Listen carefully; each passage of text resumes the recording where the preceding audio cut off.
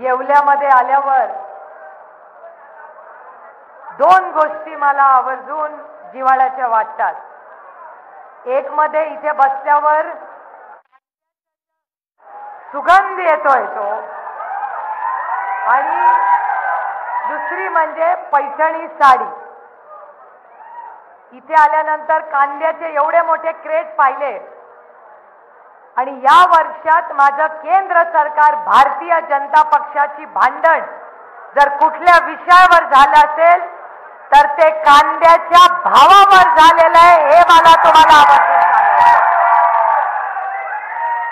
कांद्याला भाव काय आहे? आपल्याला सगळ्यांना माहिती आहे की जगामध्ये कांदा कमी आहे आणि भारतात कांदा जास्त पिकलाय मी एक नाही दहा वेळा तुम्ही माझा रेकॉर्ड चेक करून बघा. पार्लमेंटमध्ये आणि ट्विटरच्या माध्यमातून त्या पियुष गोयलांना पन्नास वेळा सांगितलंय. एकदा नाही पन्नास वेळा. की कांद्याला भाव द्या. इथे कांदा सडतोय परदेशी कांद्याची मागणी आहे. परदेशात कांदा जाऊ द्या. पण या भारतीय जनता पक्षाने बाहेर कांदा जाऊ दिला नाही आणि त्याच्यामुळे आज जर शेतकऱ्याचं नुकसान झालं असेल त्याचा कंबरड मोडला असेल तर ते पाप त्या भारतीय जनता पक्षाचं आहे. हे मी येवलेकरांना आज सांगायला आलेले आहे. आणि गंमत सांगते कांद्याला भाव देत नाहीत ढोबळ्या मिरचीला भाव देत नाहीत. टमाट्याचा भाव माहितीये का आज किती आहे? तुम्हाला भाव नाहीये. पण तिकडे शहरात गेला तर कुणालाही बांधला. म्हणजे तुम्हाला इथे भाव देत नाहीत. तिकडे कुणाला परवडत नाही. मग मधले पैसे जातात कुठे? कुठेतरी जात असणार ना? मला सांगा कांद्याचं तुम्हाला उदाहरण दिलं. मी दुधाचं उदाहरण देते. दुधासाठी केंद्र सरकारने निर्णय घेतला होता की परदेशातून दूध आणायला परवानगी देणार. पहिला निर्णय आदरणीय पवार साहेबांनी प्रधानमंत्र्यांना पत्र लिहिलं की जोपर्यंत मी आहे तोपर्यंत परदेशातून एक लिटरी दूध मी येऊ देणार नाही भारतात. आणि त्यानंतर एका तासात केंद्र सरकारने निर्णय घेतला की आम्ही दूध येऊ देणार नाही. प्रत्येक राज्यांनी आपापला निर्णय घ्यावा. म्हणजे जेव्हा दुधाची वेळ आली तेव्हा परदेशातून दूध आपल्याकडे. पण जेव्हा कांद्याला भाव मिळत नाही तेव्हा तुमचा कांदा परदेशात जेव्हा भाव मिळत होता तो नाही दिला. हे पाप भारतीय जनता पक्षाचं आहे. आणि या स्थानिक लोकांनी तुमच्यासाठी लढले का नाही मला माहिती नाही. पण ही तुमची भगिनी ही तुमची ताई हक्काची ताई आहे. तुम्ही म्हणाल ते काम तुमच्यासाठी करू आणि तुम्हाला न्याय मिळवून देऊ.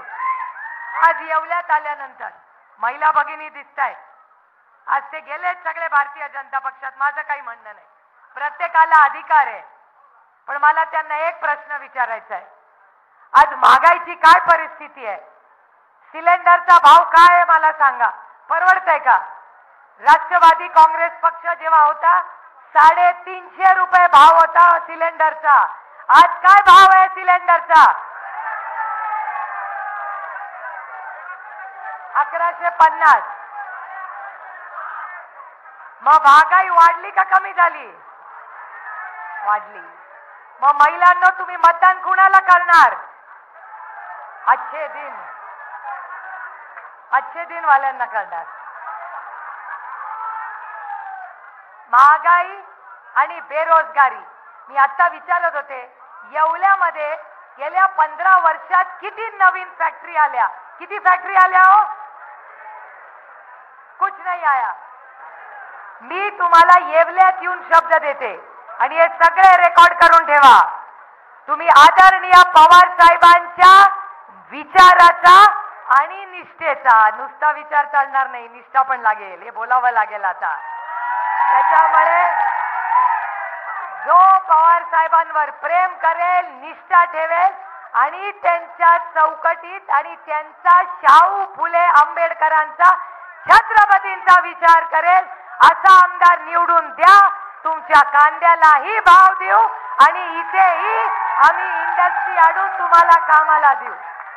तुमच्या हाताला काम मिळेल असं काम करू. मी विचार करत होते मला त्या इथे आल्यानंतर आम्हाला तर यायला खूप उशीर झाला. नाशिक वरनं येवल्याला यायला दर पाच मिनिटांनी गाडी थांबे कार्यकर्ते सहकारी अमोल दादा मला म्हणतात ती लांबून भाई बघ. जितेंद्र आव्हाड म्हणतात तो इंडस्ट्रीवाला बघ. ते काय आणलेले कार्यकर्ते नव्हते. सर्वसामान्य मायबाप महाराष्ट्राची जनता सांगत होती आणि आधार देत होती. प्रत्येक जण माझा हात धरून म्हणत होता की ताई तू लढ घाबरू नको. तू घाबरू नको लढ. हे एकच विचारात सगळे इथे उभे सगळे कॅमेरेवाले आमच्या बरोबर आहेत. एकच जण सारखा सांगत होता की घाबरू नका लढा. अरे मी घाबरतच नाही. घाबरत असते तर गेले नसते का? तुम्हाला सगळ्यांना माहितीये शोले पिक्चर देखा है ना? जो डर गया वो। आणि एक सांगते त्यांनी मला येताना एका माणसाने प्रश्न विचारला असं कसं झालं? म्हणलं आता मी परवाही बोलले. आता नवीन पिढी आहे थोडस इंग्रजी शिकत असाल. तुम्हाला आईसचा अर्थ समजतो का? आईस. आईसला म्हणजे काय? बर्फ. बरोबर? त्याचं स्पेलिंग काय? आय सी आय म्हणजे काय? इन्कम टॅक्स सी म्हणजे काय? सीबीआय आणि ई म्हणजे काय? ईडी अरे तुम्ही म्हणायच्या आधी पत्रकार म्हणतायत ईडी त्याच्यामुळे आज अडचण झालेली आहे की आईस म्हणजे बर्फ नाही. आय सी ई म्हणजे आईस. जो विरोध करेल त्याला आईस कर देंगे. आणि मग वॉशिंग पावडर त्याचं तर नाव बदलायला लागेल. निर्माची कशाला बदनामी करताय? ते ममता दिदीनी चांगलं केलं.